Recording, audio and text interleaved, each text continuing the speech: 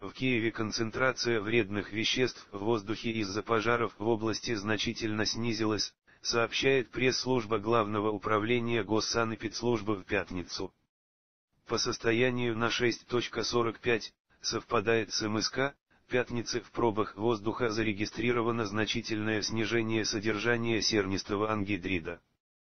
Так, концентрации сернистого ангидрида, диоксида серы, превышали, максимальные значения, в 1,5 раза по улице Героев Сталинграда, 4, и в 1,2 раза по улице Дружбы Народов, 3, по другим веществам контроля, азотодиоксид, углеродооксид, превышения не зарегистрированы, говорится в сообщении.